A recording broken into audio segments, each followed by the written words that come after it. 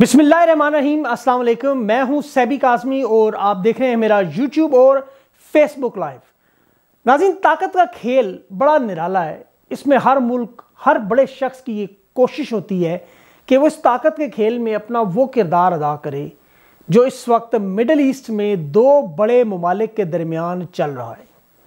एक मुल्क है अरब अमारात और दूसरा मुल्क है सऊदी अरेबिया। अबू के जो हुक्मरान हैं, मोहम्मद बिन जयाद जाहिद और सऊदी अरब के जो हुक्मरान हैं, मोहम्मद बिन सलेमान, इनके दरमियान इस वक्त एक बड़ी चपकलश चल रही है, जिसका असर न सिर्फ़ मिडल ईस्ट पर पड़ रहा है, इन दोनों ममालिक पर, बल्कि दो ममालिक इसमें बहुत ज़्यादा फ़ायदा उठा रहे हैं। एक पाकिस्तान और दूसरा हिंदुस्तान। मैं आपको सारा तफसील से बताता हूँ कि ये मामला है क्या, इनके दरमियान क्या चल रहा है, और पाकिस्तान और हिंदुस्तान को क्या फ़ायदा हो रहा है इस वक्त? मकसद इसका सारा यही है। इस वक्त जो है शहजादा मोहम्मद बिन सलेमान बड़ी एग्रेसिव और अपनी कौम सऊदी अरब को दुनिया के उन मॉडर्न ममालिक की फहरिस्त में हर सूरत में देखना चाहते हैं। अब तक जब भी आप मिडल ईस्ट खलीज या अरब रियासतों की बात करें तो दुबई का नाम आता है अबू जहबी का नाम आता है, फ़ौरन जेन में। इसकी वजह यह है कि वहाँ पर सऊदी अरब की तरह या उससे उलट आज़ादी मैसर है। दुनिया भर के स्याह वहाँ अयाशी के घर से जाते हैं तफरी के घर से जाते हैं। सियाहत का एक बड़ा मुकाम है। दुनिया की बड़ी बड़ी मल्टीनेशनल कंपनियों के सदर दफ्तर, उनके रीजनल हेडकोार्टर्स वहाँ दुबई में मौजूद हैं।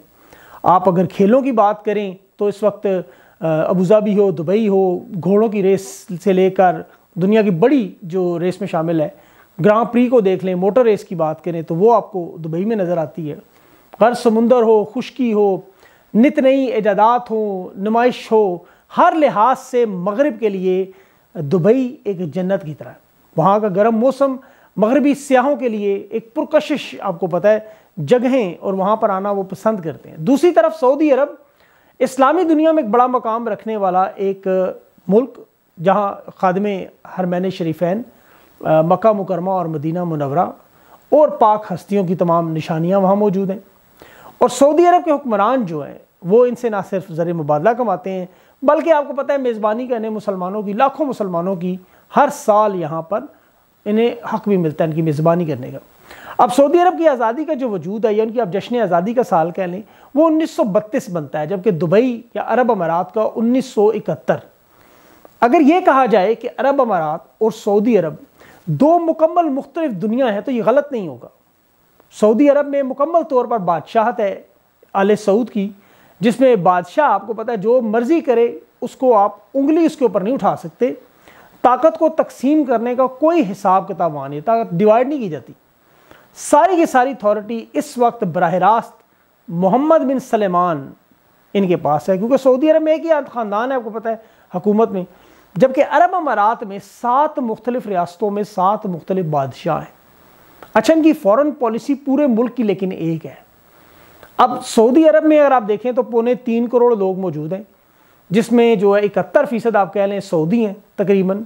तो अरब अमारात की तकरीबन आबादी नबे लाख है, जिसमें से सिर्फ़ चौदह लाख लोग जो है वो अरब अमाराती हैं, जो कि पंद्रह फ़ीसद आबादी का तकरीबन बनता है। बाकी पचासी फ़ीसद आबादी एक्सपैट्स या वो लोग हैं जो गैर अरब अमाराती हैं। दुनिया के दीगर ममालिक की तरह अब सऊदी अरब दुनिया के तेल की पैदावार के ममालिक में दुनिया भर में दूसरे नंबर पर है। और अरब अमारात जो है, वो अब तेल पर इसार नहीं करते। इन्होंने अपनी इकोनॉमी को, मीशत को मुख्तलिफ़ हिस्सों में बांट दिया है। दोनों ममालिक में मज़हब, आपको पता है, इस्लाम अक्सरियत है। लोगों का वहाँ फॉलो करते हैं। लेकिन सऊदी अरब में शरीयत का कानून है शरई कानून है शरी अदालतें मौजूद हैं। सजा जजा का सिस्टम जो है, वो शरई है। जबकि अरब अमारात में जो कानून है, वो अभी फ़िलहाल दुनियावी कानून आ गए। अरब अमारात के लोगों के पास नौकरियों के ज़्यादा मौके मौजूद हैं। वहाँ पर आपको प्राइवेट कंपनियाँ हैं, मुनाफा ज़्यादा कमाती हैं, तनख्वाह ज़्यादा देती हैं। अब सऊदी अरब में इस वक्त मसाइल जो हैं, वो नौकरियों के, वो अरब अमारात की तरह नहीं। सऊदी अरब और अमर, अरब अमारात का ये फ़र्क बिल्कुल इसी तरह ही। अगर आपको मैं आसान समझाऊँ तो जिस तरह अमरीका और कनाडा है, या अमरीका और मैक्सिको आप कह लें अब दुनिया की नज़र में सऊदी अरब जो एक सख्त गिर मुसलमान रियासत है, जबकि तमाम दुनिया जो है वो अरब अमारात को एक खुशनुमा, खूबसूरत रियासत, जहाँ गैर मुल्की जाना पसंद करते अब सऊदी अरब की जो बादशाही हुकूमत है, वो अरब बादशाह अरब अमारात के बादशाहों के पीछे चलते रहे सारी ज़िंदगी। मोहम्मद बिन जायद थे, उन, जायद बिन नयान, उनकी जो पॉलिसी थी, ये वही सऊदी पॉलिसी हमेशा होती थी। ये मोहम्मद बिन सलमान को डोनाल्ड ट्रंप के साथ मुलाकात करवाने, दोस्ती करवाने वाले भी मोहम्मद बिन नयान है, जायद नयान है। अब जब ट्रंप इलेक्शन हार गया तो ये दरमियान में से निकल गए। क्योंकि मोहम्मद बिन सलमान, आपको पता है, अरब दुनिया के एक उभरते हुए शहजादे हैं, जिन्हें हकूमत सिर्फ़ सऊदी अरब तक महदूद नहीं रखनी। जिस अंदाज में उन्होंने मामला को डील किया, हर रुकावट अपने रास्ते से दूर की, वो ये साबित करता है कि ये बड़े पैशनेट और बड़े एम्बिशियस किस्म के शहजादे हैं। ये पूरे रियासतों पर हुक्मरानी के ख्वाब देख रहे हैं। और इनके सामने जो है, अब सबसे बड़ी जो रुकावट है, वो है अरब अमारात। और आप बड़े हैरान होंगे, अरब अमारात में से भी अबू जैबी के हुक्मरान शेख मोहम्मद जैद बिन नयान और अब मोहम्मद बिन सलमान ने उन्हें सबक सिखाने का फैसला कर लिया है। ये जितनी बड़ी तब्दीलियाँ आप सऊदी अरब में देख रहे हैं, जिनमें आपको नाइट क्लब्स भी नज़र आ रहे हैं, डिस्को भी नज़र आ रहा है निज़ाम तालीम में जो तब्दीली है, वो नज़र आ रही है। सियाहत के फ़रोग के लिए। इतना एक बड़ा नियम, एक बड़ा शहर तैयार कर लेना, दुनिया भर में कहीं ना हो। सारा उसमें इन्वेस्टमेंट करनी बड़ी बड़ी। और सबसे बढ़कर मुआशी पॉलिसियाँ ऐसी बनाना कि अबू जहबी और अरब अमारात को कोई फ़ायदा ना हो सके।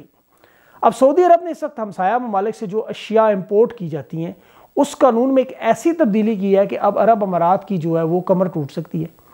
सऊदी अरब ने दुबई से आने वाली तमाम अशिया पर पंद्रह फ़ीसद टैरिफ, जो इम्पोर्ट टैक्स है, वो लगा दिए। और ये हालत हुई कि तमाम अशिया सऊदी अरब की सरहद से पैक हुई, पैलेट से उतरी हुई, दोबारा वापस दुबई गई। क्योंकि वो कहते थे कि ये टैक्स हम सऊदी लोगों पर लगा देंगे। मतलब सऊदी लोगों को कीमत इतनी बढ़ाएँगे कि उन्हें देना पड़ेगा हमें वापस। अब अगर कीमत ज़्यादा बढ़ जाती, चीज़ की डबल हो जाती है, सऊदी लोगों कीमत लेंगे ही नहीं। वो क्यों इतनी महँगी चीज़ खरीदे? अब इसीलिए सऊदी अरब के लिए ये जो मामला है, तजारत के मुश्किल का सामना दुबई के लिए होने लगे अब ये मामला बिल्कुल ऐसे जिस तरह चीन और अमेरिका का तजारती मसला आपको पता है आपके सामने, जहाँ से सारा मसला शुरू हुआ। पैसा सबसे बड़ी बात है। सबसे अहम बात यह है कि उन्होंने अपने दोस्त भी अलहदा कर लिए ज़रा गेम देखी मिसाल के तौर पर अरब अमारात ने हिंदुस्तान, इसराइल और अमेरिका के साथ मिलकर एक इतिहाद बनाया, जिसका नाम उन्होंने क्वाड टू रखा। अब इसमें अपनी मौशी पॉलिसियाँ बना रहे हैं, अपना दिफा है, इनके मुख्तलिफ़ इकदाम हैं। और इस इतिहाद का एक अहम मुल्क इसराइल। अब चिनारों की सरजमीन में एक बड़ा इंफ्रास्ट्रक्चर इंफ्रास्ट्रक्चर बनाने जा रहा है हिंदुस्तान के कहने पर। अरब अमारात का हिंदुस्तान की तरह आपको होता है, अमरीका के साथ भी बड़ा झुकाव है।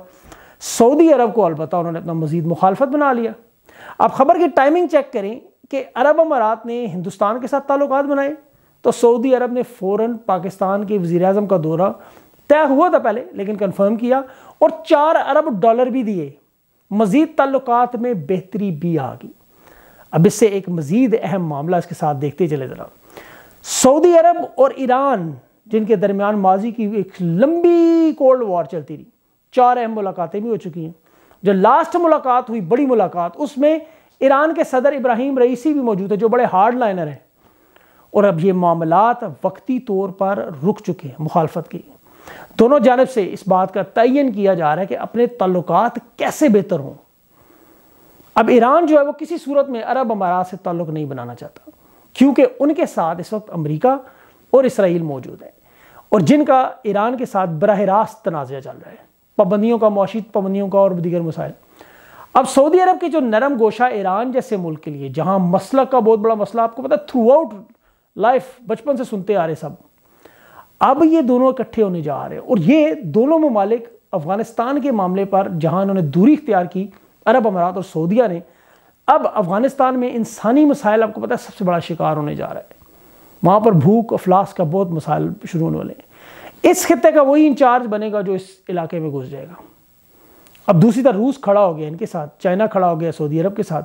और ये वो अरब रियासतों में अपना सिक्का मनवाने के लिए मोहम्मद बिन सलेमान की फेवर में हालात जा रहे हैं। क्योंकि चीन और रूस उनके साथ मिल गए हैं, डील करने को तैयार हो गए हैं तेल का जो मसला था वो हल हो गया इनका आपस में। तो इसीलिए अब इनको लगता है कि इस पूरे मिडल ईस्ट पर मोहम्मद बिन सलमान राज करेंगे। लेकिन अरब अमारात इतनी जल्दी अपने हाथ से, आपको पता है बादशाह में सबसे बड़ा मसला ये रहा कि आप कभी भी अपने हाथ से ताकत नहीं जाने देते। इकतदार का नशा। ये आपने माजी में देख लिया, शुरू से क्या होता रहा, जहाँ जहाँ बादशाह थी। ये दो शहजादों की लड़ाई, जिसमें बिन जैद और बिन सलमान, ये अब आगे बढ़ने लग गई है खत्े में। लेकिन बिन सलमान कह रहे हैं कि बहुत अग्रेसिव है। वो इतना ठंडा करके खाने के आदि नहीं, जबकि बिन जैद जो है, वो बड़े डिप्लोमेटिक अंदाज में स्लो एंड स्टडी बाकी आस्ता आस्ता अपने फ़ौरन ताल्लुक बढ़ाने में। अब आने वाले दिनों में सऊदी अरब ने पाकिस्तान को अपनी तरफ़ कर लिया है। और दूसरी तरफ़ अरब अमारात ने हिंदुस्तान को अपनी तरफ़ पहले से थे, और ज़्यादा करीब आ गई। अब बल्कि वहाँ चिनारों की सरजमीन में जो इन्वेस्टमेंट होगी इंफ्रास्ट्रक्चर बनेगा, उससे चाइना नाराज़ हो गया उनसे। चाइना भी नाराज़ हो गया उनसे, और पाकिस्तान के साथ आपको पता है, अरब अमारात के ताल्लुक पैसे और सारा मामला जो था, उस पर अभी तक दुरुस्त नहीं हुए। ऐसे में पाकिस्तान तो चाहता है न्यूट्रल है लेकिन आने वाले हालात में न्यूट्रल रहना बड़ा मुश्किल होगा। पाकिस्तान का झुकाव बज़ाहिर और लगता भी है, सऊदी अरब की तरफ़ है। एक मजहबी लगाव भी है, मोहब्बत भी है। बाकी और भी चीज़ें और अगर ईरान, सऊदी अरब की आपस में सुलह हो जाती है ताल्लुक बेहतर हो जाते हैं, फिर अरब अमारात बिल्कुल दीवार के साथ लग जाएगा। अभी भी वो अमेरिका, इसराइल और हिंदुस्तान पर रिलाय करें, वो फिर मगरब पर बिल्कुल भरोसा उनका उधर हो जाएगा। और वो जो उनका डिफेंस, दिफा जिसका उन्हें ख़तरा हमेशा ईरान से लग वो बढ़ जाएगा। मज़ीद इस पर मैं आपको इंशाल्लाह कुछ ऐसी अपडेट्स जल्द दूँगा कि किस तरह पाकिस्तान के लिए इन हालात में कुछ गोल्डन अपॉर्चुनिटीज़ भी निकली। उस पर तफसील से बात करेंगे अगली आने वाली वीडियो में। चैनल को सब्सक्राइब करें और मेरे पेज को फॉलो का बटन दबा दें, ताकि वीडियोज़ आपके पास टाइमली आए। अपना ख़ास ख्याल रखें, मुझे इजाज़त दें। अल्लाह हाफिज़।